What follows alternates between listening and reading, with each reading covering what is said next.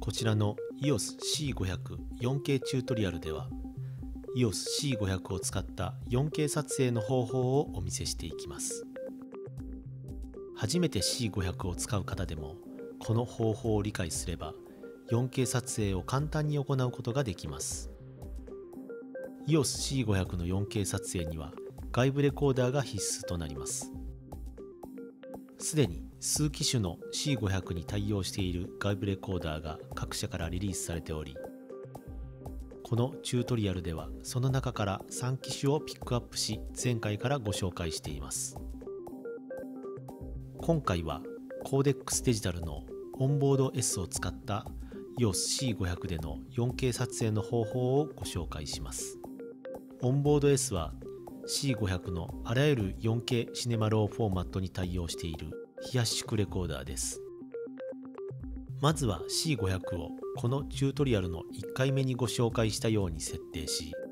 その背面の 3G SDI 端子とオンボード S の SDI 端子を接続してください。オンボード S 上部の電源ボタンを押し電源を入れます。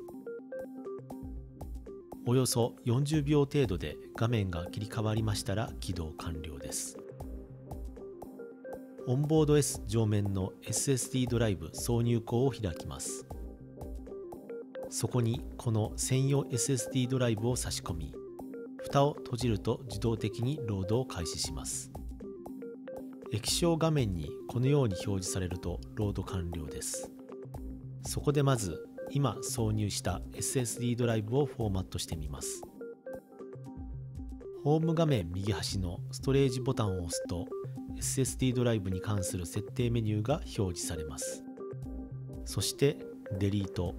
コンフォーム、クリエイトと押します。ここでダイヤルを使って SSD ドライブに名前を付けることもできます。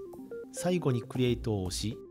画面上部に Good と表示されればフォーマット完了です。次にオンボード S 本体の設定を行います。もし C500 から送られてくる信号とオンボード S の設定が一致していなければ画面にこのように表示されます。そこでホーム画面で Setup を押し次にビデオを選びます。上から順に C500 で設定したのと同じように設定していきます。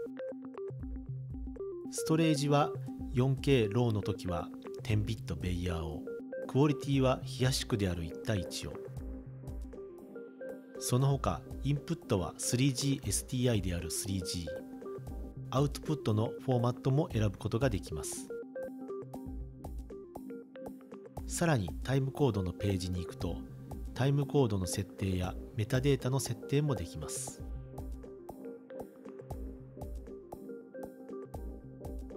これでオンボード S の設定は完了です。C500 のレックボタンを押しオンボード S のダイヤルの周りが赤く光れば録画しています。録画が終了しましたら SSD ドライブを取り出します。まずオンボード S 上部の蓋を開くと SSD ドライブのこのランプが点滅し取り出しの処理を開始します。画面にリムーブパックと表示されればそのまま SSD ドライブを抜き出してください。オンボード S の電源を落とすためにはまず上面の電源ボタンを押します。